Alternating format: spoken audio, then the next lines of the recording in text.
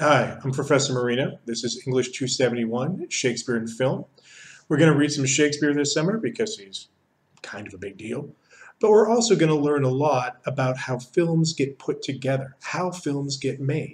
I grew up watching movies, which makes it easy for us to follow how a movie's story is being told without really thinking about it. But because we don't think about it, that makes it hard for us to understand how it's put together. We're we've trained ourselves not to notice how a movie really works.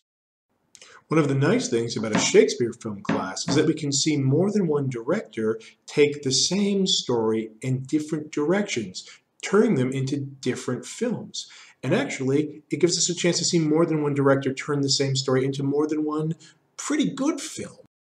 The class isn't about saying, this movie is good, that movie's bad. That's too easy. And the great thing is, two different filmmakers can take the same story, the same play, take it in two different directions and come up with two different results, both of which work. Three filmmakers can take, take three different approaches to the same play and come up with three results that are not alike but aren't bad. They all work. They're all Hamlet or Macbeth. The other thing this class is not about is beating up on films that aren't faithful to Shakespeare in your opinion. If you think Shakespeare, someone's not being faithful to Shakespeare, that's just your opinion. We can't be faithful to Shakespeare. He's been dead a long time and he didn't leave us any instructions. Mostly, when people say that's not faithful to Shakespeare, they mean I don't like it. And I don't like it is too easy. Sure, there are people who should know better who will go to a movie or a play and come out and say, Oh my God, they ruined Hamlet. Oh my God, they ruined Hamlet. What are we to do? Hamlet's to be fine. Believe me. Instead of worrying about which movie is better or which movie is more faithful to Shakespeare, we should focus on how these movies tell their story.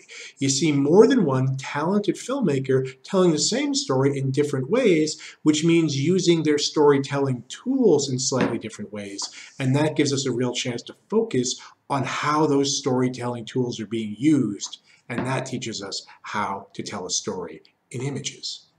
What matters is not the story. What matters is how the story gets told. Lots of people had written the Hamlet story before Shakespeare wrote his version. And really, we don't care. What matters is how he told the story, how he put it into specific words, how he set up specific scenes, how he gave the actors particular chances to play a part a particular way.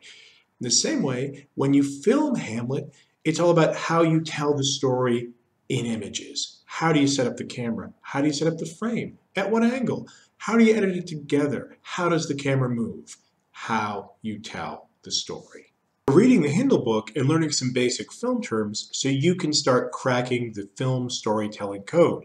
So you can start to see how movies are actually put together as a work of art. When we're watching the short clips for the first unit for week one, use those terms to try to describe what's happening. And I'd especially say pay very close attention to how many times we cut, how many times we move from one image to another. We're used to, as casual moviegoers, just skipping over that. We understand that all those characters are standing in one place having one conversation, when actually the camera is jumping back and forth between a whole bunch of different images. But it's important in terms of understanding how a visual story is told to remember that these are separate images and we are jumping between them. That's one of the reasons I've been in a fairly crude and obvious way using different shots for this short video. And yeah, the editing was really crude and amateurish because I'm an amateur, but you noticed it. Try this. This week, while you're watching the, uh, the silent movies and the Much Ado About Nothing trailers, just try to count how many shots there are. That's it.